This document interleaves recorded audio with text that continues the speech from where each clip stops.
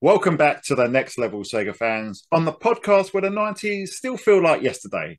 I'm Dan the Mega Driver, one half of the Sega guys, and with me, he's the Darth Vader to my Kraken. It's James the Sega Holic. How you doing, mate? I'm very good, mate. Join us on the yeah. dark side. Had a few coughing problems, so uh, maybe that was a little wet. Aye, I think I could use I could use Vader's um, mouth apparatus at the at present, mate, because uh, a bit a bit chesty, um, recovering from a cold. But this the well has run dry. It has. So this is going out pretty much hot off the press. This one, this will be going out, you know, days after being recorded. So I know we got four days, four, four, five days to edit this. We'll get it done, mate. Done. We always get it done. Well, mate, we've been we've been you know, pretty prolific recently. You know, again, we talk about a year ago, year eighteen year to eighteen months, we, we didn't have time to make an audio podcast, and then uh, now now it's de- definitely two videos a week. Uh, this this week we had three. Yeah, you were obviously away in the lovely city of Venice for your for your wife's birthday. Yeah, um, so we can put this all down to you. Yeah, pretty much. I was sitting there. Obviously, we had the the review, which is a new series that we've just launched.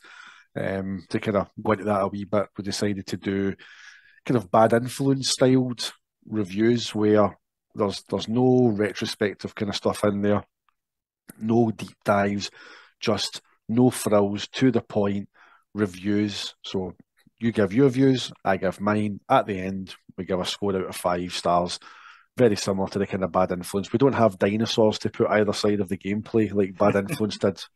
But you know, dinosaurs and jeans and a a funny colour jacket. But um, yeah, we've put the first one out, which was obviously Die Hard Arcade on the Saturn. That went out on Saturday, um, and then we had the news that Tomb Raider Unfinished Business got a port for the Sega Saturn. Um, Retro Raider John has you know put a team together and they've basically ported the PC expansion from 1998 to the Saturn, and I thought, you know, I, can't let that pass without putting something on the channel. So, 20 minutes recorded, six minutes of gameplay, a couple of minutes of me speaking about it, and, and put it up, and that's that's went great guns. Um, and then on Monday, our scheduled content was the the Altered Beasts retrospective that you've done. Yeah. Um, and at present, that's careering towards the the thousand views as well. So, um, you add on, you know, you've got the, the review, the Tomb Raider, Altered Beast. You know, you've got all those those kind of three coming out within a short period of time. Um, and they've went down great. So hope everybody's enjoying it. Um, it's not not planned that we fire out three videos in four days, so don't get used to that that level. We have jobs and families, but um, when when we can put something out, you know, we, we will we will do so. But I think the, the the big news was that Tomb Raider port, mate, which I think is is remarkable. Just another example of just the, the community around the Saturn, the things that are continuing to be done with this system. It's just well, un, unreal. The thing, the, the, the way you know, he put a team together I mean, this speaks volumes about the scale of these projects and the passion of the people involved. This isn't just, um, and I know a lot of the time, you know, all these modders, they're very passionate people, and there'll be more than one or two of them. But you know, putting putting a team together really talks about the scale that these people are applying to these things, and it's it's fantastic that so many people have got this level of passion for old Sega systems, especially the Sega Saturn, which you know, obviously the history it has, the commercial performance, the way it's often you know blamed for you know being the end of Sega or starting the end of Sega. Um, the fact that so many people are turning into to beginning to love it now and understand what an amazing system it was is fantastic and uh, it's it's it's the sort of the message that we've been trying to bang on for a long time and that you know it's, it's, such a special system and you know as we say all sega systems are and that's kind of what we try to do is is you know for those of you that grew up with sega we try and help you you know relive the good times. For those of you that, um, you know, Sega haven't made a console for over 20 years now, and you know, introduce you to why we love Sega. Oh, oh, looking at our demographic, I think it's a lot more of the la- of the former than the latter. Yes, but um, but yeah, still, I mean, there's a lot of Mega Drive fans that may tune in, or Dreamcast fans that didn't give the Saturn a chance that are now appreciating it. So um, it's good to see that that that level of commitment from from teams like uh, that that have done Tomb Raider unfinished business. They did do the Tomb Raider two demo as well, didn't they? Um, yep. Was that maybe a year ago or a few months back? I, if I remember, they they essentially rebuilt levels or parts of levels from Tomb Raider two and the Tomb Raider One engine. Yeah. So um, it was kind of meant to give a, a, a, glimpse as to what it could look like. Now, it's going to be a hell of a big job, but I, I think, given how good unfinished business runs in, you know, the, yeah, there's some kind of maybe graphical oddities that the the water in that first stage because it's, it's, a vast area of water. It does look a wee bit kind of from a distance. It can look quite kind of off-putting and kind of quite mess. The, the, the kind of scenery merges with it a wee bit and the, the ripple effects on the top. But that's just the way Saturn was was generating the, the water in Tomb Raider. Yeah. So um, that's not a, a, a, slant on the port. That's just the way the system generated those particular visuals. But I think there's a very good chance that we will see these guys put Tomb Raider 2 out there. It, it might not be, you know, next month, six months a year, but I think they will get there. And that in itself will be kind of like a vindication for us because you know we all know the the, the worst kept secret when with Sony paying off essentially core to, yeah. to keep you know Tomb Raider two off of, of Saturn. So if we can get that, you know, in some shape or form, and if it, you know, if I was talking to Saturn Dave about this, and, and by the way, if you want to see kind of in depth chat, you know, with uh, Retro Raider John, the Shiro guys have got a, a, article up on their site, and there's kind of quotes about the development and stuff like that. You know, with uh, Retro Raider John. So check that out. I've put the link down there. Um, you can check that out as well. But I, I think there's every chance that we will see it. You know, yeah. it, as I say, I was talking to Dave, and I said the way that it runs, you know, it even it feels exactly like Saturn Tomb Raider. You know, yeah. Saturn Tomb Raider's controls, you always felt as if you were almost fighting with them. Sometimes they were they weren't like massively responsive. There was a wee bit of it almost felt like lag. Yeah. But it, but it wasn't. It was just like it just they've just nailed it. The, the weight of the controls, everything. It just it's, it's absolutely superb. Um, the initial build that John put out on his mega page, when I tried to load it, it didn't actually work on Fenrir. Now I've been told that the guys have got Fenrirs that were doing this, so that was a bit kind of strange. Um, I removed the underscores from the file names and it got past the loading, the Fenrir loading screen, but then it stuck at the, the license to Sega screen. So message Dave. Dave gets in touch with a couple of guys on the, the Shiro Discord. Within 10 minutes, Derek Pascarella, the awesome A team, has come back with a rebuilt version for Fenrir because it turns out that Fenrir doesn't like certain bin cue file configurations. I think if too much is contained within it, it was all very technical, but if too much of the game is contained within the bin file, like Fenrir can't read it. Now, it was just a single bin and a single cue file, but bulk slash English translation is a single bin and single cue file, and that works fine. But Derek's went away and, and used the, the Sega Saturn patcher and, and basically built a a Fenrir compatible version. So that is now on John's mega page as well. So oh, if you've got an ODE, guys, go and check it out. It's it's brilliant to see such a mainstream franchise that made its debut to the world on the Saturn coming back. She's back. Back where it belongs. And uh, yeah, it'd be fantastic. Obviously, Tomb Raider 2 would be fantastic to have. Uh, this has been a fantastic port I, I never was planned to be ported, but now I found port. And mate, lost ports, of course, is the order of the day on this on this episode. Um, talking about lost ports that were found, though, obviously we had Lost in the Arcade Volume One, uh, which we recently re-uploaded to YouTube. It was originally an audio-only podcast, um, so we took the audio from that, added the gameplay footage, and um, I think the reception to that was pretty warm uh, and set us up for the long promised, the long overdue volume two. Um, but a lot has changed in the intervening years because two of the games that were on our respective lists uh, will soon no longer be lost to the arcade or will actually make their way onto modern consoles by way of the uh, Like a Dragon or Yakuza series. Yes, mate, because and it's two pretty big hitters as well. So it's obviously Daytona USA 2 and Spike Out. yes. So we've, we've lost two big hitters. Um, I think the big one is, is Daytona USA 2, you know, coming over in the form of, you know, Sega Racing Classic 2.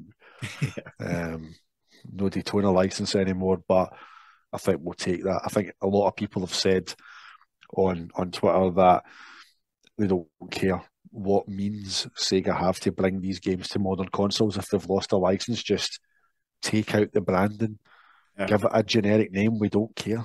The, the the name on the name in the box doesn't matter. It's it's, it's what's it's what's in the game. So I I mean I, I kind of joked, you know, it's like Daytona USA Two is coming to Xbox Game Pass. It's like yeah. you get this bonus game called Yakuza with it. well, you probably have to know in Yakuza, you've probably got a good couple of hours of uh, cutscenes and adventuring to do beforehand.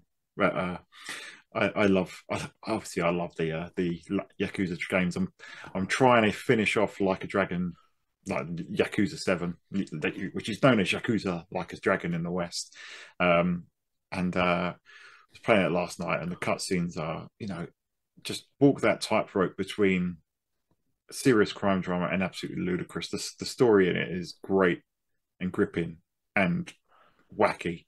But then I was trying to grind some levels, and uh, the one special move I was doing this like battle arena thing and this one move that uh, we did, like you combine attacks with characters, like, like Chrono Trigger and games like that back in the day.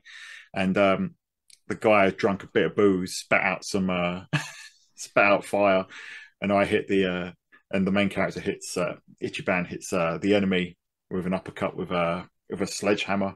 But the the enemy at the time was this chicken man that's called Mister McNugget or something, and I was just thinking, this game is just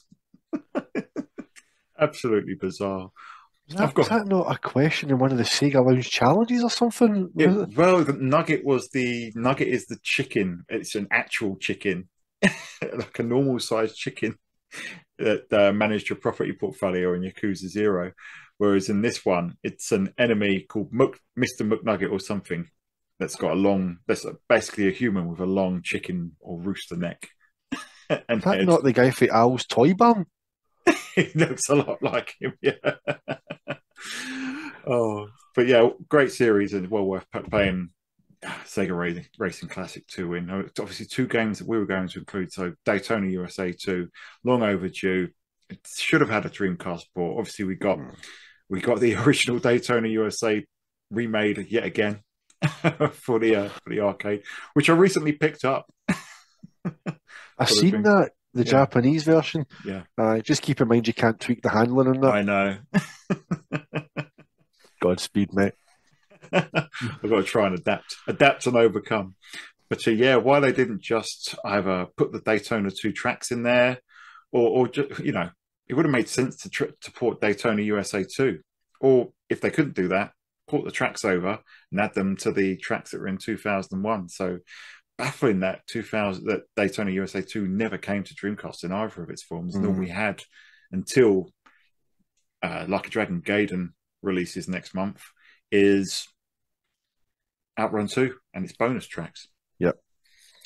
I I mean it's weird, isn't it? You would think that why would you go back to CCE for the Dreamcast game? Like even if you want to go back to CCE and bring in you know, the Daytona tracks, the Daytona 2 tracks on top of that, then fine, just have one big package. Yeah. But to completely omit the Daytona 2 tracks was was bizarre. Um, yeah.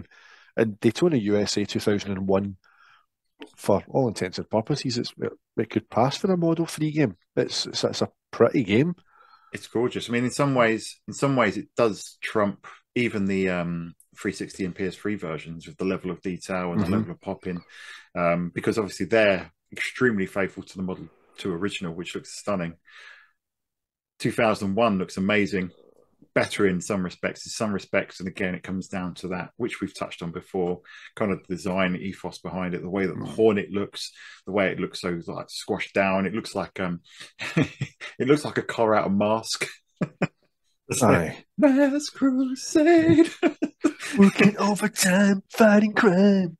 You can just imagine one of the characters from that jumping in there and the wheels coming out. It's uh, it's a Aye. weird design. It's because the wheels pop out the side. Now, if you change how hard the tyres are, so if you make the tyres harder, it brings them in. Oh, does it? But you can get to the opposite if you pick the hardest tyre set and they're sunk in. So you look like Batman's Batmobile whenever he in Bat is it Batman Returns whenever he fires off the side bits and just goes right through the gap. Into, was that the first Batman? Is that Batman Returns? I watched them recently. Can't of mind, years but you know about I'm talking about. Whenever he, Yeah. he basically split, that's what it looks like. Just the wheels come straight in. Yeah. So, but if you go the other way and you make like the super soft tires, it's sticking away out to here. Oh, but yeah, uh, Daytona USA 2, long overdue, and Spike Out as well, coming to Yakuza Yakuza 8 or Like a Dragon Infinite Wealth, as it's uh, officially known. Um, this one didn't get as much fanfare, so Sega Racing Classic got its own tweet Yeah, to say it's coming to Like a Dragon Gaiden, uh, the man who erased his name, whereas Spike Out was in kind of a montage alongside Sega Bass Fishing and a bunch of other stuff. And all of a sudden, it's oh, it's Spike Out. You know, the, the Once Upon a Time in Hollywood uh, Leonardo DiCaprio gift. um, I know uh, John Linneman tweeted saying, uh, saying I'm, pr- I'm pretty sure Richard Ledbetter will be will be pleased because remember he was a massive fan of it back in the Sega Saturn magazine days, and it's good to know that he's still got a lot of enthusiasm for it. that's it. See, if you've got a favourite Sega game, mate, that, that love never never fades. Just if you've always got the hope that you're going to get a home port, so Rich will be lining up to play it. And it was kind of similar as well the way that Virtua Fighter 3 TB was announced. It was just kind of, oh, there's a wee montage of games, and you go, hold, hold on a minute. Is that It was- Arashi? It's like, It was just in, it was just cut out in the corner somewhere. It was just like, oh, that was that was kind of like the the fighters in Street Fighter Six, isn't it? you know, these the daft faces whenever you're waiting for the fight to start. Yeah, I know. But yeah, Spike Out, Spike Out, great, great fighting game. A little bit cheap, or bit scrolling beat 'em up rather, a little bit cheap. I played through it recently, um, and it is tough. Uh, definitely a coin, a coin guzzler, but uh, brilliant game. I've got Battle Street on the Xbox, and Yeah. it's not quite as good as the arcade original. Um, No, carries a lot of the old same iconography, same. Here comes the boss. Break the gates. um, a same control system, but not as polished as the original. The original was fantastic fun, but uh, the fact that you know a loss for us, mate, because we can no longer talk about them in depth as lost to the arcade, but a massive win for game preservation and for Sega and just for the community and everyone that's interested in old Sega arcade games. A final legal way to play them. Aye, and that, that's the main thing because as much as you know, Supermodel Three, you know, is great and gives you access. excuse me, sorry, to a lot of these games. You know, it's still Supermodel Three, even with its its user interface kind of add-on that you can do. It's still not the friendliest thing. You know, even I had to put in the the Scud Race video a link to a, a brilliant um, channel. It's Warped Warped Polygon. He's called, and he's done like an actual modified INI file that's on the, the link in the video, and he talks you through how to set it up. But he's basically set all the controls for all the games up for uh, PlayStation and Xbox controllers. So he set that all up for you, which is great. But you know, you still need to decide is your hardware good enough to handle the advanced 3D engine, or can it only handle legacy? It, can your hardware handle it at PowerPC setting 40, or do you need to tweak it to 50, 60 to get it to run? It's just, it's not intuitive. This is the way it should be. Just, Yeah. you know, so on a modern day mm. console in some form, licenses are not an issue. Get it played. Absolutely. I mean, I've been struggling with Supermodel 3 um, the last few week, few few days, few weeks, trying to capture footage for this. A um, couple of issues with a Xbox 360 controller with a lot of stick drift, where oh, it seems to only be in Model 3 and Model 2 games. So I don't oh. know if it's part of the config for that. And capturing, yeah, I've had a few issues with capturing. So if any of our viewers on the YouTube channel do notice any issues with the capture, it probably means that I haven't been able to resolve the issues, but hopefully, uh, hopefully it's not too noticeable. But um, yeah, the, it's not the friendliest thing, mate. Um, I've had to uninstall, rollback, update drivers galore to try and get it to work properly on mine. Uh, it doesn't work with AMD drivers very well, but uh, the latest round of AMD drivers seem to work. So we're there, mate. So without further ado, I think we'll, we'll go through these, and much like Volume One, we will discuss these one by one. Um, talk about what hardware they launched on, who made them, um, where how they should have come home, what console could they have come onto. So uh, I think I'll kick this one off, mate, with a very familiar face that any Sega fan will know, and this is uh, Sega Sonic the Hedgehog. Now, this one was actually developed by AM3. Uh, came out in 1993 uh, for the System 32 hardware. So that's the same hardware that uh, the Sega Saturn was initially based on. Mm-hmm. Um, now, this one's an isometric action game. Uh, I'm going to hesitate to call it a platformer, purely because there's very little in the way of platforming on this one. Uh, it's up to three players. So you have Sonic the Hedgehog, obviously. You have Ray the Flying Squirrel, and you have Mighty the Armadillo, both of which came back recently in. Um, Christ, why is the game why is the name of the Sonic game evading me? the Christian Whitehead one. Oh, um, Sonic Mania. Sonic Mania. I don't know why. I, I, own that game on PC, Switch, and Xbox, and I've completed it on every single one of them. Some, so for some reason, my mind went completely back there. Ray and Mighty, present in Sonic Mania, um, originated from this game. In this one, they're basically just almost palette swaps of Sonic. Their faces, the, the muzzles the same, the art, the monogoggle, um, exactly the same as Sonic. Just one's got a armadillo. Armadillo. Uh, we like Dime bars. That's a blast for the past, that isn't it? Yeah. Jeez. Do you remember your first Dime bar? Crunchy I... on the outside, smooth on the inside. Armadillos. yeah, we've, we've just lost about twenty people. That's yeah, it. Yeah, sorry anyone that didn't grow up with the uh, the UK Dime Bar advert. Because we're fucking old, that's why. but yeah, it's um. So the premise of the game is it's not to kind of make your way through zones or look like um, like the classic Sonic games, or even to go around collecting flickies like Sonic 3D, even though the perspective's the same. Mm. You're basically captured by Dr. Robotnik or Dr. Eggman at the very beginning of the game, hoovers you up in his big Robotnik face tractor, um, drops you off on his prison island, and you're basically outrunning traps the whole game. It's it's actually brilliant fun because you're constantly outrunning things, whether it's platforms falling down, lava coming down, falling stalactites and icicles. Fantastic fun. Game only takes about 20 minutes to blast through, but I still haven't beaten it purely because you play through the eight area areas get to the last one and you've got something like 20 seconds or 45 seconds to get to the exit, and I've never managed to do it. But uh, fantastic game, this one. Did you ever get a chance to play it? I've not. Um, I've only ever been able to watch kind of playthroughs of it, and you know the, the thing that struck me when I first looked at it was that isometric view. I thought, well, this looks like Sonic 3D Blast, but the pace is just like one of the comments I seen on a YouTube playthrough of it was, and this is the most stressful time of Sonic's life. it is. I thought because like the thing that that, that kind of got me is that it's so frantic. Yeah, it is. It's like it never it never stops. So you get to the edge of the screen, something always happens. So as you say, it's like in the initial part on Volcanic Vault, you're getting chased by the, the big lava ball when the lava's flowing, you know, but you're still trying to avoid traps. And then there's um, oh, what else? There's like kind of wee monkey bars as well, so you're swinging for them, yeah. but then they collapse and then it goes down like a rope bridge, and you clatter off a wall and you fall back down. Um, just there's just so much going on in each of the stages. Um, what is it? The is it Desert Dodge stage?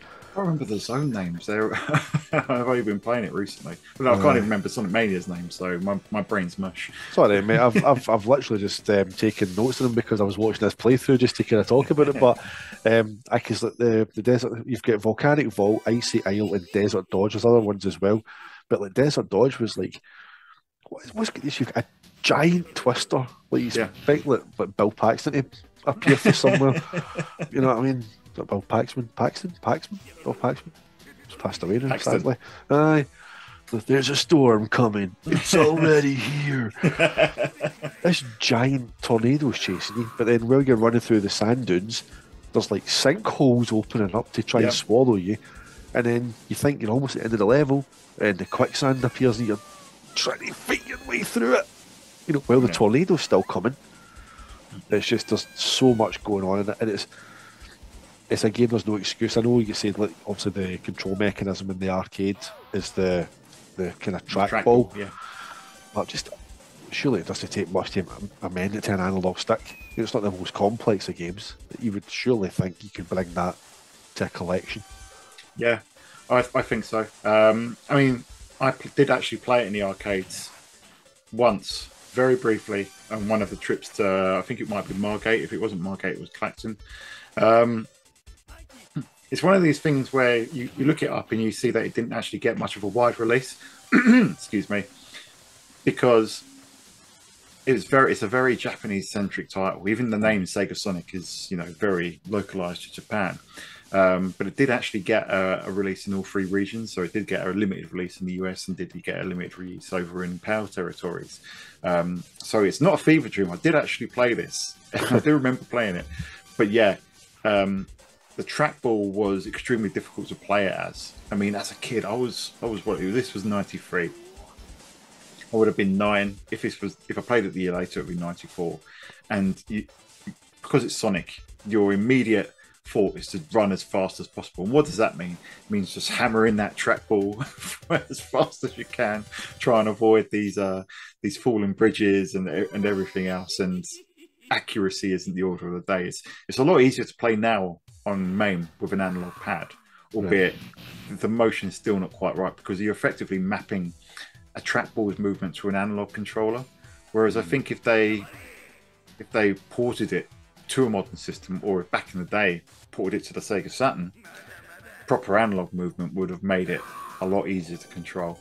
Um, I mean, it's weird the, the trackball. You know, did you ever play those those PGA games or tee off games that you used to get? They in the two thousands, right? They used to be in like every pub. And That's you'd- right. You'd have you'd have someone, you know, roll the ball back a bit and then That's right. as fast as they can. Get some spin on that, love. There you go. yeah, they were they were everywhere. You'd always have someone in one of those. But it's, it's the same principle, you know. Whether it's probably the same people that played Sonic like that, playing the golf game like that about twenty years, uh, ten years later. The muscle memory kicked in. Yeah, that's it. Flashbacks of falling off the bridge, avoiding that tornado. But yeah, it's, it's a cracking game, mate. Um, really would have loved it to come to. I don't think it would have been possible on the Mega Drive. I think you look at you look at that and Flicky's Island. Flicky's Island obviously goes for the more kind of CG rendered look, whereas the arcade game has definitely has a more anime feel. It does, aye. But Aye. it's it's so impeccably an- animated and so smooth. There's so much going on with all the set pieces. I think the Mega Drive would have struggled with it. Uh, the 32X was pretty poor at scrolling, so I don't think it could would have been at home there. But the Saturn, you know, with its with its architecture, I think would have handled this in its sleep. It would have been so much fun.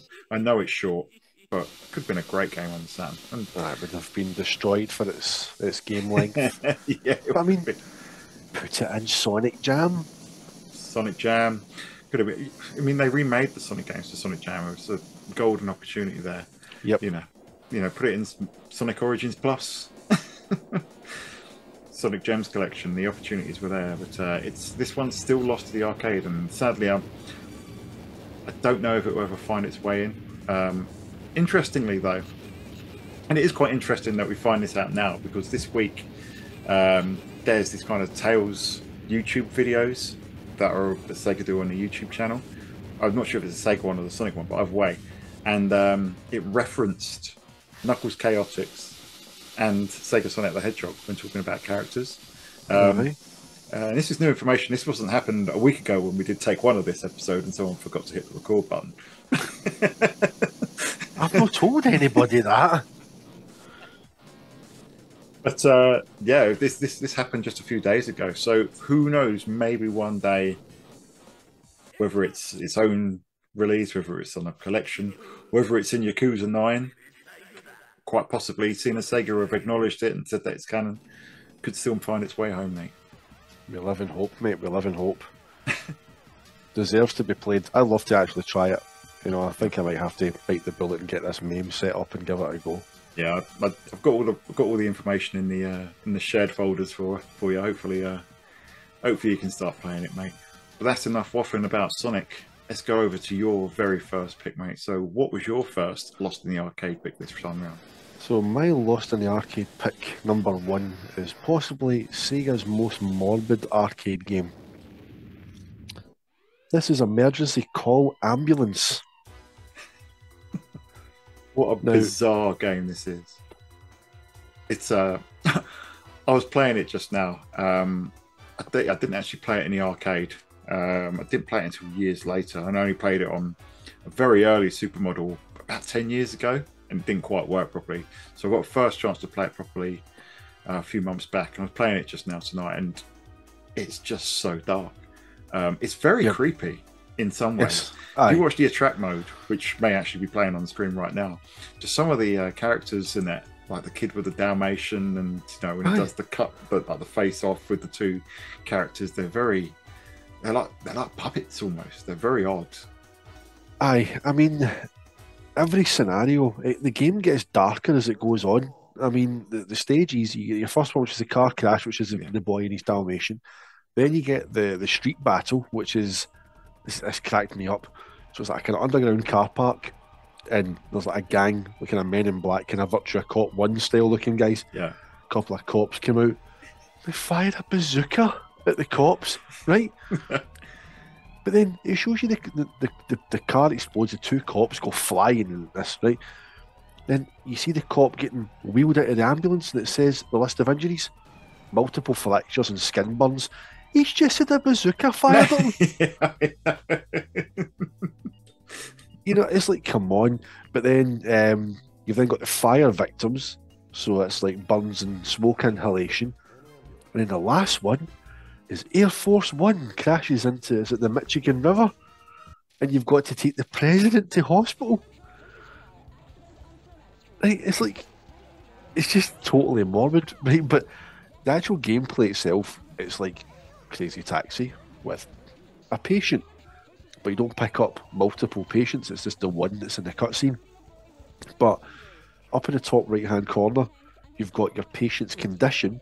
So they're lying there on the, the gurney in the back of the ambulance with the, the oxygen mask on. And then you've got like their, their wee kind of the, the flatlining. Yeah. What do you call that? That line the heartbeat monitor. Yeah, Aye, boop, going right. But if you take a corner too rough, if you hit scenery, if you crash into anything, you then get the nurse that's in the, the ambulance with you giving you a bollocking, Yeah. like telling you, be careful, we're losing him, we're losing him. don't hit another car. You hit something and it, it brings up an injury, which gets more severe, so it's like trauma, internal bleeding, cardiac arrest. It's like, what? And if you don't get to the hospital in time, then obviously, you know, game over, your patient dies, and then the screen goes red, and it's just, ooh, flatline. It's like, your patient died. It's like, Jesus. It So- doesn't seem to know if it wants to be tongue in cheek or not, does it? It's it's extremely macabre. It's it's like it's almost it's almost playful, but not quite. It's very it's a very strange tone to a game. Aye. It, it, it kind of hovers between, mm, like, kind of creepy and B movie.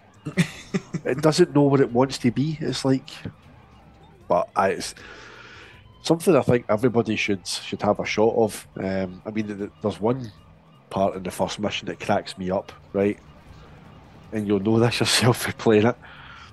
There's a part whenever obviously you start with the the, the, the kind of the motorway where the crash happens, so the, the, the yellow car and the the tanker, you take away in the boy in the ambulance, excuse me, and then you kind of go around the freeway, and you come down, and there's like a kind of wee town area, and there's a pond over on the right hand side. God knows who's in this ambulance, but this guy goes flying into the pond. It's like, what? That's weird. See what's happened to him. It's just there's there's wee kind of humour parts of it. Ah, he's definitely that person's gone, mate. They're, they're well and truly out the game.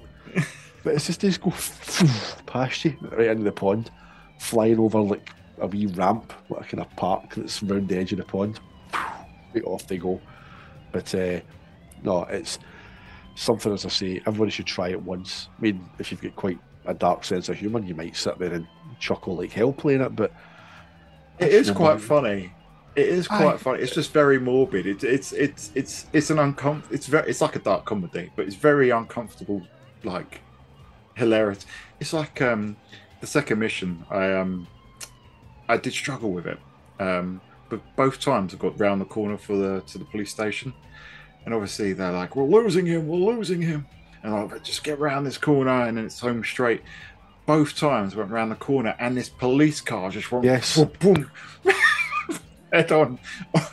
like you- lose like a, when you hit something, like the second comes off, doesn't it? And if you, if, depending how bad the injury off, you get minus however many seconds. And this one, I had like ten seconds. It probably in the footage, um, and you go, and it's like, boom, boom, boom, boom. Oh. Boom. like, And well, you, you imagine though, you, you, you- you go to the arcade all happy, play some Sega today. You stick a quid in that, you're going back up the road absolutely manic after playing that. It's a tr- it's a lot of fun though. Um, what I, I mean- found, yeah, go on. you know, we're, we're, we're painting it as being really, it's, it's, it's morbidly fun. Let's not be, let's not be kidding ourselves on here. There's, there's, it's dark, but there is fun. There is a lot of fun to be had in it. Yeah, it's it's it's definitely crazy taxi levels of of enjoyment. Not quite as instantly enjoyed because you feel guilty when you fail on it. But it's but it's it's fun. I mean, there's things in it that I, I I love the fact that you can if you go into a street lamp, you know, you lose points. Obviously, you lose life. If you crash into another car, you know, you lose time or you lose your patient loses health. But if you decide to drive across the sidewalk or drive over the greenery and try and run over pedestrians, they're absolutely fine. They all jump out of the way, so stay, stay off. The, they all just go ah, dive, Aye. dive out of the way. There's no penalty there. The- the- I think it's on the first mission where you've got a, you've got another ambulance that just careens past you and it drives over. and you're like, oh, I'll just follow him. Aye. He's going through the pedestrians. Aye, like Die Hard uh, Die Hard with Vengeance, isn't it? yes. Are you aiming for these people? It's brilliant fun. I mean, I found it a lot easier in the first person view yes. um, than Aye. than the, the external camera because you get a better idea of how close you are to certain objects. Although I found that you can still clip things on the side that are outside your field of view, Hmm. um, but uh, it's tough. I mean. The, the, ti- the time limits on there, um, it's like doing a Sega GT license track test on there. How tough those time limits are. Less said about Sega GT, the better. You'll find out why in due course. indeed, mate. Indeed. But no, um, great game, indeed. Great game. Uh, really wish it came to the Dreamcast. Felt like uh, felt nailed on. Really, it's got the the sort of quirky sort of arcade. Again, like Crazy Taxi, like Eighteen Wheeler. Um, that you know, obviously Crazy Taxi, huge success on the Dreamcast. Eighteen Wheeler, not so much, but kind of of that same vein, that same quirky, unique Yep. arcade experience. This slotted stra- straight in there, and graphically, graphically, it's not the most intense Model Three game. It, No. it really actually looks like a Naomi game, and I think I thought it was once upon a time back when Yep. I first saw it. That it's a Naomi game. Um, obviously, it's it's a Model Three game, but I, I don't think it would have been too much trouble to move it over to the Dreamcast. Put a few more scenarios in there, expand expand the length of it, um, and obviously it's a score attack game, so your performance, you know, if you, you- trying to get that perfect run, no damage run, could have been a could have been a massive success. Stick in some sort of crazy back box alternative, and it could have been a winner. That's the thing. You could even have had it as a double pack with 18 wheeler because they're both short enough. Yeah, You know, 18 wheeler doesn't have anything kind of major um, in terms of length. I'm not Yeah. going 18 wheeler too much. Um, again, you'll find out why in due course. Um, but you know, it's um, it's it could easily have been like a, a kind of quirky double pack. You know, 18 wheeler and, and ECA together. It would have worked quite well, I think. Yeah. Uh, shame. Again, hopefully one day we see this one, but uh, for now, definitely lost in the arcade. I don't think there's a reason that this one couldn't come home. No. Um, you know, Sonic's the trackball, but again, we think we can navigate that. A few others would be license issues, but this one, this one definitely should come home. So hopefully one day people get a chance to play it without playing with Supermodel. As great, as that emulator is, and just able to put it in there, PS5, Xbox, PC, Switch, or Switch Pro, Switch 2, whatever, um, and enjoy it that way. But yeah, great call that one, mate. And what's next on your list, mate? Next on my list is another quirky game and a game that I did play in the arcade in 1998 in an absolutely enormous cabinet, and I fell in love with it straight away. And this is the Ocean Hunter. uh, this one, um, I I don't know if it's some sort of Mandela effect. I remember this one having light guns in the huge cabinet that I was in. Um, playing around with the Model 3 emulator, though, in Supermodel, it does seem to suggest that it's more of um, like a mounted gun, like uh, LA machine guns or a Gunblade NY, um, because uh, I ended up playing it with the, the joypad rather than the mouse, because the mouse, for some reason, my mouse pointer is all the way over the other side of the, the Mm. cursor and it was throwing me off. So uh, I started using the pad, and it's a lot, lot of fun playing it that way. But uh, yeah, this is this is basically the House of the Dead underwater. Basically, it's going around shooting shooting sharks. The, the story through it is is kind of ludicrous. You go across the seven seas hunting the biggest monsters, which all seem to be amassing man-eating sharks around them. Um, even down to stuff like you know you'll get other divers that are getting away from big white sharks.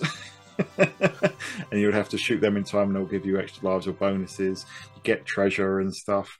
Um, you get basically three bosses per stage. You get like two sub bosses and then a main boss. Um, and you're basically an underwater bounty hunter is how it's pitched. And uh, i love the way it says some of the names like kraken. Uh, the, the first shark you, you face, White Death. Yeah.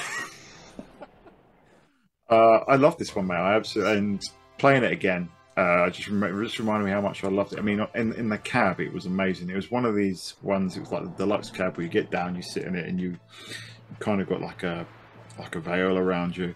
And I think there was, you know, the perspex between and the screen kind of blowing up in front of you, so it looks like it's zoomed in, and it's just, it was amazing. The sound behind you, um, I think graphically it looks fantastic. You know, I think remember when Finding Nemo came out and it's like, oh, you know, water is the it's kind of the the grail of like the CG render. So it's like Pixar made Nemo. What does Sega do? Well, they they have you underwater, killing absolutely everything. So, but uh, you said that this one reminded you of Skies of Arcadia. I got a kind of a different vibe from it. Um, it kind of reminds me of remember in the 80s there used to be a lot of crossover with kind of french japanese french animation and japanese anime you'd end up with things like uh, the lost cities of gold Ah. That's right. I mean, it was a mysterious cities of gold, wasn't yeah it? that's it Aye. the, the characters kind of remind me of that the whole the whole um, presentation of it really reminds me of kind of that that sort of animation like 80s anime or like the french animation that uh, i think uh, DiC were putting out at the time that sort of that sort of thing And Dogtanian as well, wasn't it? That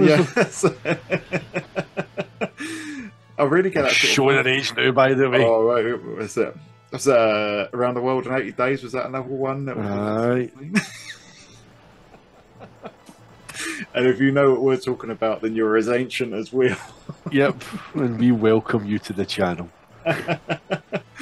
but yeah, I really get that vibe from it, from especially from the intro and then sitting in the hot air balloon. You've got these really stylized characters.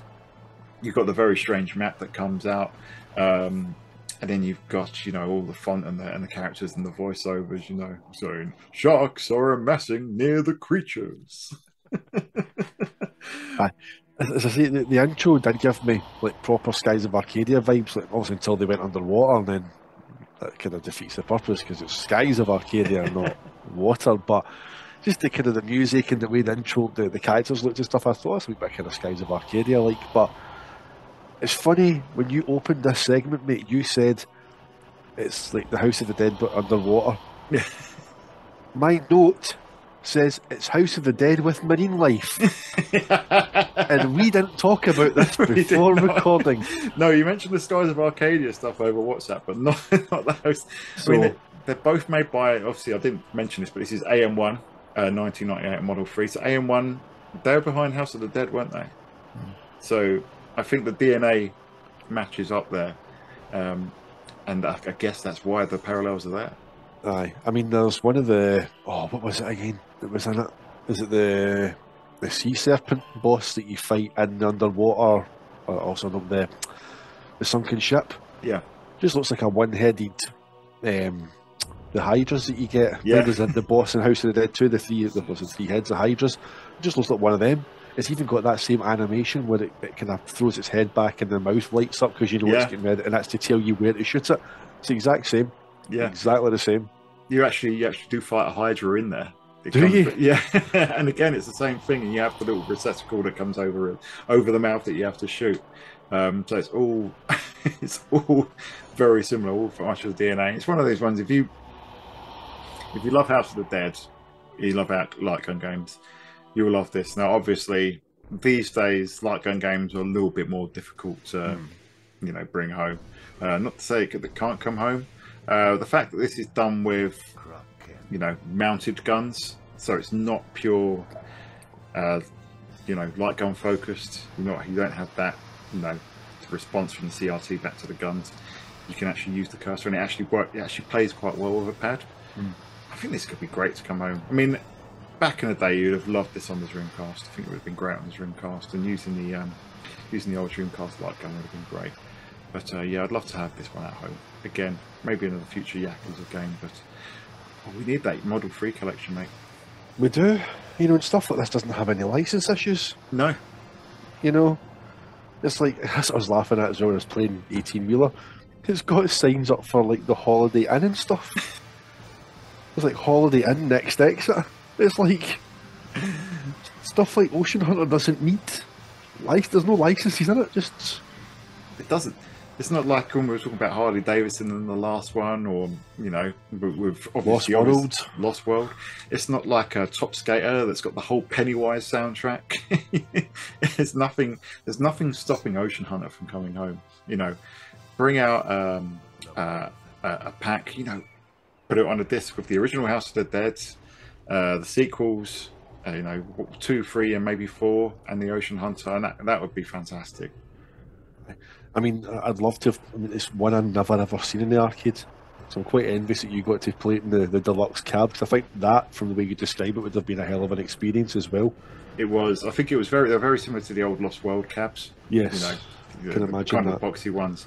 Um, but I remember it vividly. Um, I can't remember if I saw it in multiple locations. I think I did, but I most remember it in um, Jarman Park in Hemel Hempstead. It was there. Um, I think it, I might have seen one in Birmingham few years later um, in Star City. But yeah, whenever I saw it, mate, I, I loved it. Um, fantastic, fantastic shooter. Um, well worthy of coming home. Um, hopefully one day it does. But uh, talking about games with uh, with licensing, mate, uh, would you like to tell us your next uh, next entry? Well, I'm saving the big hitter for last. Yeah. So um, I'm going to move on now to this is not a UK Hoover brand. Although whenever you hear it, you might think it is. This is Dirt Devils, which I think can only be best described as Sega Rally meets Motorstorm. That's a brilliant description. And uh, playing it, uh, this is one that I haven't ever given an awful lot of time to. Um, for some reason, always got mixed up with um, Speed Devils Yes. in name on the Dreamcast, which did come to Dreamcast and is completely unrelated. Yes. um, but yeah, it's it very much is MotorStorm. Eight nine years before MotorStorm was a thing. Um, fantastic game, mate. First thing that jumped out at me was look at all those sponsors. Yes, and I think that is probably what led to CVG. Was it issue 206 or 207 that we found out that they said Dreamcast version rumoured? Yeah. Now, no wonder because all the advertising boards along the side are all Dreamcast with the orange swirl. Yeah. So, every chance again, this is one that, that Sega looked at and we're maybe going to port, and it just goes back to that, that line. And a lot of these games, like, you know, like your Ocean Hunter as well, it just comes back to that Sega line about not wanting to stigmatise the Dreamcast with arcade ports. Yeah. But we just lost lost out so many great ports because it. This one, Dirt Devils, it's not. It's this kind of there's a a view you can do on it, and you can same as Daytona, you've got like a kind of closer behind and your Yeah. further back one, but the further back one made the wee cars look like micro machines. I think. Yeah. Um, you get that view as well if you crash. If you crash really badly, the camera will come will pan out. Aye, aye. But uh, the announcer sounds like the guy from Manx TT. He does. I think it must be the same guy. Has to be, has to be him. Please select the bike. Aye. Please select the course. Please select the bike. Please choose manual or automatic transmission. then the best one, if you do the time attack, go! Brilliant. Doesn't do pass at the checkpoint in this one. Aye. I can't remember what he That's one of- says. No, I can't read either actually, but that it's just the accent and the, the sound is just it's exactly Yeah. the same. As it has to be him. Has to be. Yeah, I, I remember that um, that issue of CVG vividly. It's like yeah, Dreamcast version rumored, and it it looks great. I mean, it is by um, again, it's by AM1, but it really does look like um, you know the way that the, the models get all dirty when they go through all the mud and everything. It does give you Sega Rally 2 vibes Yes. in terms of the in terms of the makeup.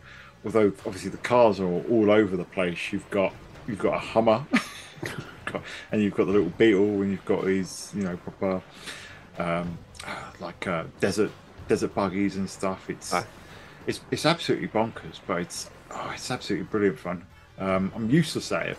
Um, but uh, it's absolutely terrible. Though at my first attempt, I managed to finish third in the first two courses. The last one, the last course is really something though, uh, because obviously it's the most complex course to race around, the most jumps and stuff.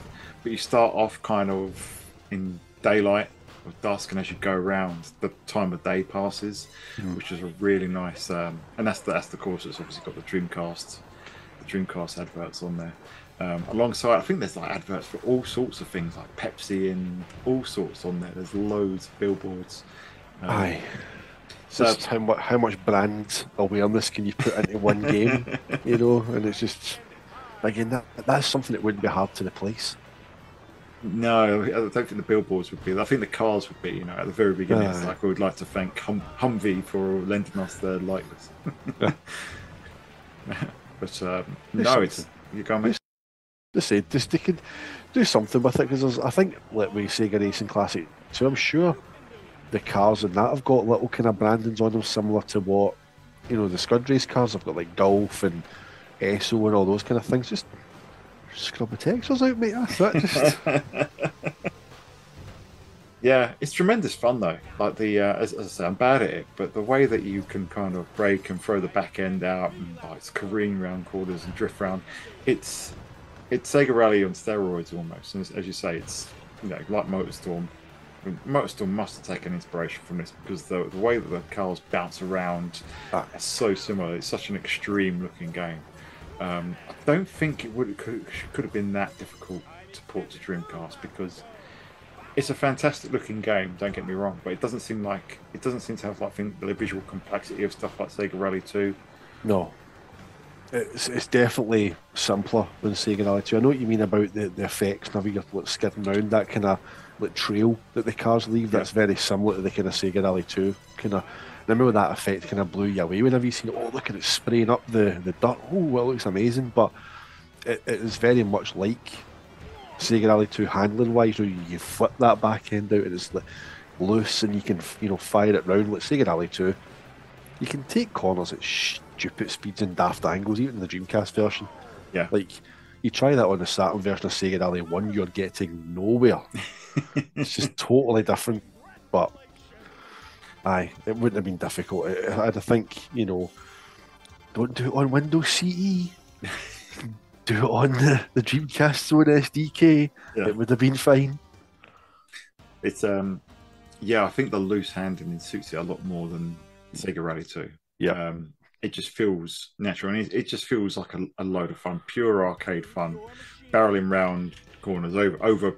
You know, you go over jumps in Sega Rally, you go over huge, huge jumps in the, in this one. It's like yeah, you'd expect to get like a Forza Horizon like jump bonus in there or something. but uh, oh, it's a superb game, mate. Um, one I hadn't, as I say, one I hadn't played a lot of, but uh, glad that this was on your list because it got me a chance to get really well acquainted with it. Good stuff. So what have we got last on your list then? Last on my list is an interesting one. Uh, another one that I actually played in Jarman Park. This is uh, by AM1 in 1996, and we're we're going to the Model 2 this time. This is Wave Runner, a water ski racing game. Um, released the same year as uh, the N64 was Wave Race. Um, I always wished that this one would come to Saturn. Obviously, the uh, the arcade cab was kind of those big stand-up ones. You had to hold Aye. on to the bars on the side, put two feet into the into the into the paddle, which was meant to be where you put your water ski, and you steer like that. Um, superb fun in the arcades. Um, really loud, bright, huge bright colours, blue skies. But I think that I think the Saturn could have done this one because the water effects, and this is where it's kind of I can see why they might not have wanted to bring it over.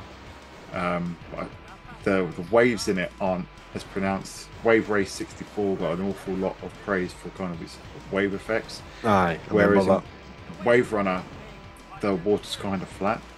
Um, the, the waves aren't as pronounced. For me, I think Sega Saturn, you know, put a VDP2 layer of water over that, and job done. And then you put the rest of your polygons and textures on the riders and the scenery. Um, I think it's a stunning looking game and an awful lot of fun. And again, another one. Going back and playing it now, I think it. I think it could have been brilliant at home. Aye. It was all the rage, wasn't it? It seemed to be like there was a, a point in the mid nineties where like water water ski, jet skiing games were like kind of in. And I remember what you were saying about the, the kind of praise that Wave Race 64 got. I remember that. Oh, it's the best water effects you've ever seen. Yeah, You know, and to be fair, they weren't impressive, you know, at the time. But aye, you, you look at what the Saturn was doing. She said, mate, get VDP2 handling that water. What a problem, yeah. I mean, you know? VDP2 could have rendered it um, translucent, you know, because it would have been 2D sprite. Um, and yeah, I think it could have it could have looked great. I mean, you see you see it in stuff like uh, Panzer Dragoon, you know, with the, the Mm. translucent water effects, and having the having the jet ski go over that could have been great. Obviously, you've got the jumps and everything. You've got the, the scenery around. I don't think if you if you if you're dealing with the flat water surface, I don't think the visual complexity is that much more than Manx TT Superbike. No, no, I would agree with that. Um, and, and you know the fact that the water's textured, Wave Race 64 as impressive it was. The the the water is kind of just just blue, whereas I love the I love the kind of 90s texturing of it in in, in Wave Runner. Um, it's it's it's enormous fun. I think the first the first track's pretty easy to get around without the, hitting the time limit. Uh, the second one's a lot more challenging. Obviously, you know if it was to come home, it would have needed a lot a bit more content. Same criticism that people often throw at Manx TT, Yeah, but um, it's it's very similar in that in that respect. But uh, yeah, I, I'm a big fan of this one, mate. One I'll need to get on the old emulation again. I hadn't actually even heard of it until you had mentioned it to me for this episode. I was like, whenever you said Wave Runner, I automatically went, hold on, that not like similar to the N64 game. I was like, but uh, no, I mean, look again, looking at kind of playthrough videos of it, doesn't look like anything that the, the Saturn couldn't have done. Um, possibly did is that maybe why Sega maybe opted against it with the, the direct comparisons to you know there's been nothing mentioned in any of the the leaked documents it was never a title that was you know there's a list of titles that were meant to be coming or that SOA just assumed that Japan were going to do for them. Yeah. Um, that wasn't mentioned in any way, but maybe did they think, oh, well, Wave Race 64 is doing these really special water effects with our console looking inferior because it's not doing Yeah. As pretty? You just don't know. But again, it's one that aye, it would have it would have certainly stood proudly alongside the likes of like steep slope sliders, stuff like that. You know, again, your kind of extreme sports titles. You know, steep steep slope sliders is great fun as well. Obviously snowboarding, but aye, no reason why we couldn't have had this one as well. Yeah, I mean, you look at stuff like um, Sonic's World and Sonic Jam, the water effects in that. Yes. Um, that has the almost exact kind of look that you see in the Model 2 Wave Runner game, um, which makes me think you could have done it. You know, if you do, if you if your if your water is just a flat single plane, you build your scenery around that. I'd love to, love to have thought. But yeah, like you say, I don't think this was ever on anyone's radar to bring home. No. Sadly, um, Manx TT always was. You'd look at those Sega documents, and even way back in early '96, they're talking about. It obviously didn't come home until '97, uh, but this was never had a peep about this one, which is a shame because, as you say, it's getting into those late to mid mid to late '90s when extreme sports are becoming all the rage. Your wave race games, your Cool Boarders games are probably kicking off. Um, Tony Hawk is not too far around the corner. What a nu metal's time. about nu metal's about to take off. What what a time! I say, uh, uh, when my this total tangent, my sitting in the office today, my Spotify playlist came on, and "Rolling" by Limp Bizkit came on. I was like, oh my god! Sitting there giving it that. There's my red cap. Oh, Tell you a funny story. It's, again, we'll just we'll go back to this in a minute. Right? So in early 2000, 2000, 2001, whenever Chocolate Starfish came out, right, I was a massive Limp Bizkit fan, massive nu metal fan, but I was also like that, right? Not this rotund gentleman that you see in front of you today, right? But I was at uni, and uh, I went to Glasgow Caledonian Uni. So if people from Glasgow are watching and know this, like there's a Royal Concert Hall at the top of Buchanan Street, Hall Street, where they meet, and there's like steps, and that's where all the Neds and all these kind of delinquents hang out. I've went to uni with my three-quarter length combat trousers, my baggy white t-shirt, and my red New Era cap, purchased from Foot Locker. Yep, they sold them, the actual proper ones that Fred Durst had, the New Era New York Yankees red with the white NY, backwards. I'm running down the road, right? So I ran past the steps of the concert hall with this Ned, wee group of us sitting there, shouted, Keep on rolling, you.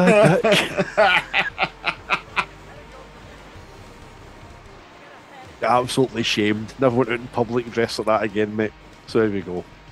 yeah. Ridic- ridiculous tangent, nothing at all to do with, but Sega arcade games, extreme sports, nu metal, It's all tangent. that. It's all of that era. I mean, we're just talking about, you know, licenses, and you know, we're talking about extreme sports, Top Skater, Pennywise, you know, all that sort of stuff.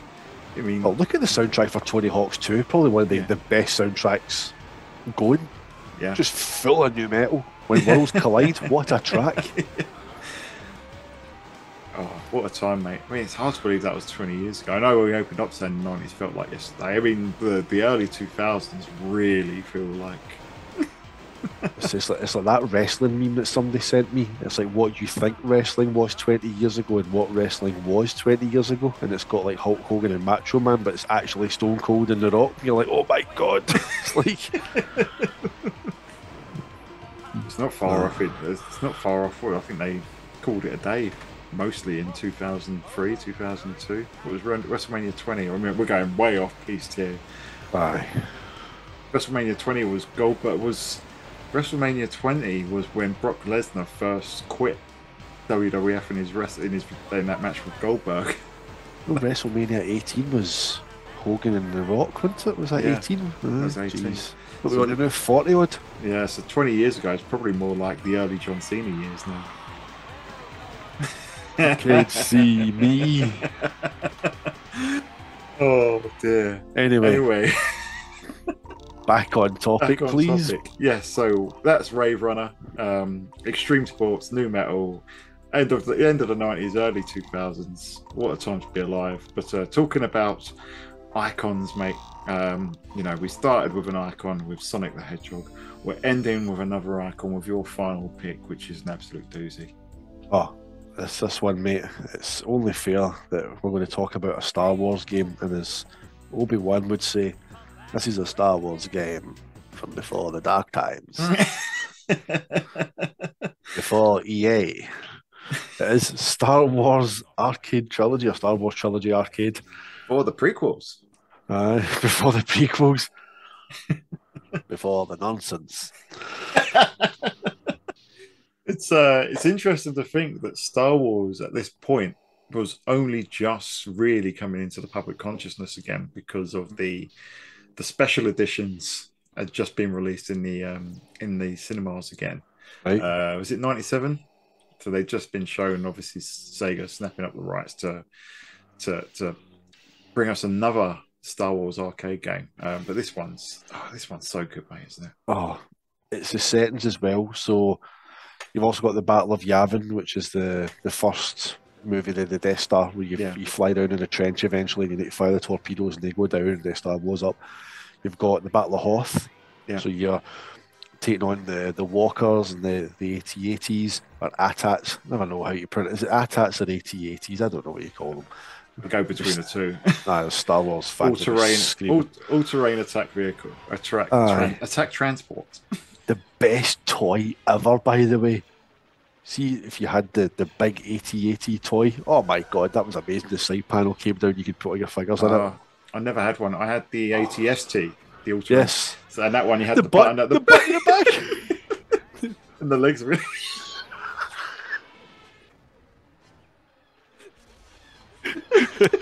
I've just broke down. oh, they were oh, brilliant. so me grey button in the back to make it walk. Yeah. The clip always broke in the leg. I had to clip it back in to make Yes, it work it again. did. Yeah. Oh, I always used to lose the t- panel at the top as well. Yes, that was long gone, mate. That was well away. But aye, so the Battle of Hoth, you take on them. You've got Endor Ground Mission, which is the speeder bikes, and then you get the kind of as well the Hoth and the Endor ground levels. After the initial kind of, you know, vehicle based part of the game, you then go back on foot and you know, in, in Hoth. This is a funny thing about the, the, the Hoth one. When you go on foot into the base, like you take on the snowtroopers, so they've got the kind of the stormtroopers with the longer kind of white Yeah. kind of clothing. The what do you call them? The the wampas are there. why, why are they there? Like you try to get to the Millennium Falcon, there's like five or six wampas just walk up to you like, "Uh," try to get you. it's like, "What- what's happening here? You need to shoot them to get to the Falcon, and again on Endor, you've got that bit where you need to get to the wee hut, the communications hut, Mm. where obviously you know. Um, where Han and Leia try to get in, and they've got R2 try to hack into the, the Yeah. wee panel. You've got to see off the the walkers as well until they get in and stuff like that. Um, there's two bonus stages as well. So you've got the the battle with Boba Fett, Yeah. which you look and you're kind of on the the wee barge at Jabba's kind of palace. Um, and then the, the other one is at the end is is also Luke versus Darth Vader from Return of the Jedi. Yeah. But there's an extra mission which comes after, which is Endor Space. So you're you're up taking on the fully armed and operational battle station. Um, and you know yourself how that plays it. That thing's still operational. well, come on, Han, oh buddy, don't let me down. This fight, this range, we won't last long against those Star Destroyers. It's a it's a trap. That's longer than we would against that Death Star. We might take a few of them with us. I'm afraid it will be fully operational by the time your friends arrive. We're going to do the rest of the podcast now in Star Wars quotes. That's it. Get chewy. If that's came through the mic, we'll be doing well. If not, Yeah. we'll edit it in. um, but aye, it's it's great. It's it's so faithful to the scenes of the movie. Um, it, again, the iconography is perfect. The the Endor level where you're on the speeders is absolutely amazing. You know, the the Hoth battle was great in terms of you know yourself flying in between the legs of the walkers and taking them out. But the speeder, the sense of speed and the speeder levels go through that forest on Endor is absolutely That's brilliant. outrageous. Ah, it's superb. Um, this and the Lost World are probably for me the two biggest regrets. You know, obviously Scud Race and Daytona 2 were massive losses, but see, I think in terms of major franchises, to give Dreamcast that kind of. Because you've got to remember, like, Jurassic Park's big now, but you think that Jurassic Park, as you say, Star Wars back then, the special editions that just came out.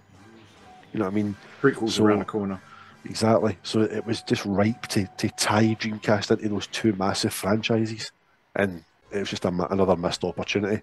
Whether the license ran out or whether Sega just didn't think there was any legs in it again, was it that whole don't want to stigmatise the console with, with, with arcade ports? But you've brought out a light gun peripheral. And apart from House of the Dead 2 and the rather shallow confidential mission, not much else that I can think of. Virtua Cop No. 2 got a port, um, but I still think it's better on Saturn. So you- you're putting a peripheral out there that's there's nothing really No. for it. So missed opportunity, massive regret for those two because those franchises could have really tied it all in.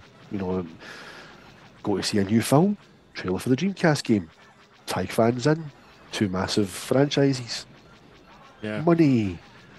This, this Jurassic Park was still. I know, obviously, after the Lost World, Jurassic Park ran out of steam for a little bit, but we Yeah. still got the third sequel a couple of years later. It was still Yep. a huge deal. Kids still love dinosaurs, and Mate, you know, it's, kids, kids still love dinosaurs. My, my, my daughter loves dinosaurs. yeah, my so You know, it's just, yeah. You know what I mean? It's just the fascination with them never goes away. I think it's just, Yeah, and um, Star Wars especially. You know, we're a year out from the prequels. The prequels would have been ninety nine. We had the Phantom Menace. Yep. So and that may have been an issue if there was cut some kind of contractual thing where where George Lucas said, oh, "We don't want to release anything in the uh, sequel trilogy. We just all got to be about the prequels now." Or anything like that. It might have been something in, along those lines, but the thing is, when I first saw in Sega Sat magazine the images of Star Wars Trilogy Arcade, as I as a picture of the film. Now wait a minute, that, that, you know, I don't, think Star Wars graphics have got much better than they were in this game. I mean, it it really does look the part. Mate, obviously, the character renders are a lot more low polygon, but the battle of Yavin and the ships and the X-wings and the Tie fighters just all looks absolutely spot on, um, and Hoth as well. And the Endor space mission, whenever you take on the, the Super Star Destroyer, Yeah. you fly along the surface of it. And, mate, it's, it's not just like basic little blocks. Like, you know yourself, and have you seen the film, the flying along the surface of the, the Death Star and that? And it's like, and the, the Star Destroyer, all the different little kind of nooks and crannies and lights and cannons. And it's just, it's so detailed. Just unbelievable. It's, as you say, the character models for like, um, like Luke's hand with a lightsaber and Boba Fett and, and Vader, they're not compared to like new games are nothing special, but it's the, the environments like Endor, Hoth, they're all absolutely amazing. Yeah, it's the art design that absolutely makes this game. It's absolutely spot on. Um, obviously, this is this is a game that released in 1998. You know, and you look at look at what was around in 1990. Obviously, we had the Dreamcast at the very end of the year, but then you had, you know, what's the biggest game in 1998? Well, Metal Gear Solid. You know, as amazing as that game is, visually, diff- different league. Zelda Ocarina of Time on the N64 again. Star Wars literally light years ahead of it. Uh, even the stuff that came to the Dreamcast, you know, couldn't touch this. Um, I think with the Dream, I think the Dreamcast. You know, if it wasn't on Windows CE, you know, on the on the uh, proper skew of the Dreamcast, with you know a lot of focus, I think this could have been a very good port on the Dreamcast, and it could have been. It, I think it really could have got some momentum behind it, especially for Star Wars fan who you could there was no game that looked like this. And if you look at the star wars episode one adaptations that came after they were all pretty pretty pants um i like as much as i've got a real soft spot for jedi power battles um it, it looks it looks like bobbins compared to this. But do you not remember that Dreamcast adverts were shown? The Barber advert was shown at screenings of the Phantom Menace. It was, yeah. So if you've ported or you're going to port Star Wars Arcade Trilogy, don't show some idiot cutting somebody's fucking hair. Show them that. Yeah. Show People- them stuff. People are running out of that movie theatre and they're going to pre-order a Dreamcast. Yeah, they are. they are. Up to six billion players. Not really.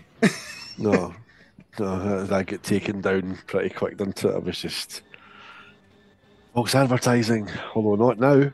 Yeah, but um, yeah, I it would have been great on Dreamcast. The only thing I think would be difficult to emulate is the fact that it was all done via the kind of a flight stick, wasn't it?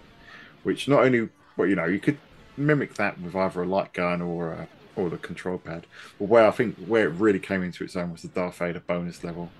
Um, Yes. because it felt like you actually were wrestling with a with a lightsaber. Aye, those would have been difficult. But I mean, the the Dreamcast light gun had a D-pad on the back of it anyway, beside the VMU port, so you could still have had for the the vehicle and the, the on the on the ground stuff. It would have been easy. Even better idea was Dreamcast fishing rod for the lightsaber. Oh, there you go, mate. That would have been that would have been perfect. Chef kiss. What do you do with that fishing rod fighting Darth Vader? Oh, it's was fighting people with Soul, Soul Calibur with it. That's right, aye. aye. Wasted opportunities, mate. I know, but mate, that's that's our that's our half a dozen. So you know, six games so far, no ports. Two games that have got ports that we started off with, so it's not nice to touch on them, even though they were in the original list. Um, great that they're now coming home, but yeah, I think some of these, mate, I think they're destined to stay lost. Uh, Star Wars trilogy in particular, uh, I can't see that ever coming home. No. Um, and Dirt Devils, given the vehicle licenses, would be a struggle. Although, I'd love to see them rebrand it, bring it home. Um, the others, though, Emergency Call Ambulance, Wave Runner, uh, Sega Sonic, and um, uh, and uh, the Ocean Hunter. I don't think that they'd uh, they shouldn't have too much trouble bringing those home. Uh. Uh, it's just a real shame. So, come on, Sega, you know what to do. Just every Yakuza game, just give us more arcade stuff. I've given us all of them. Aye. and then whenever you're finished, put them all on one collection and just release the Yakuza arcade collection. there you go. There we go. But mate, it's uh, it's always, as always, it's been a blast talking through these, and I don't know, we could do a Lost in the Arcade free. I think there's plenty to plenty to mine on these. I was thinking of stuff like, um, you know, the Moonwalker arcade game, the free player one, the isometric one. Um, there's the Sega Water Ski, which is a bit of an oddball one on the Sega Model 2. Not one that I ever saw, but plenty of those. So yeah, definitely something that we can keep tapping into as long as Sega don't bring these home. If they do bring them home, even better. We'll talk about them when they come home. Exactly. And I think whenever we get our hands on also the Spike Out and, you know, Daytona or Sega Racing Classic 2 to give it its new 2023 name, then we will we will cover them on the channel as well to, kind of to see how they, they fare when they've come home. But I can't personally Daytona 2 can't wait to to try it on a, a modern console and a like you know yourself if you play Daytona the 360 version either on a 360 or an Xbox One or a, a series console with a big telly, that widescreen mode, razor sharp visuals, it's like, oh, how good is this? the thought of playing Daytona 2 on a gigantic TV without any issues setting it up or anything, I'm just literally going to play that, get my save game standing at the cabinet, and just leave it there. Sitting there like skip cutscene, skip cutscene, skip cut, skip cutscene. Don't care about the story, mate. Don't care. Just get me to the arcade so so I can play Daytona 2. Yes, we will be bringing. We will be. We will, we will see that on the channel. I think uh, day one on Game Pass. Uh, so um, that's brilliant. But mate, it's been a blast. Uh, viewers, listeners, hope you've enjoyed listening to us talk about classic arcade games that came home, that are coming home, that haven't come home, living in the nineties and the early two thousands. Limp Bizkit. Red caps. Red Caps. But uh, I'd love to hear from you. Um, what games that are lost to the arcade would you like to see come home? Are there any that we've left off that you'd like us to talk about? Would you like to see a Lost in the Arcade 3, a Lost in the Arcade 4? Uh, drop us a line, whether you're in the Sega Radio Sega Discord, whether it's in the comments below, whether it's on Twitter or X, as it's known these days. You can find us on there at Sega Guys. You can find myself at Super underscore D. You can find James at the Sega Holic. But until next time, stay Sega, and we will see you on the Sega side. Yes, we will. Sega.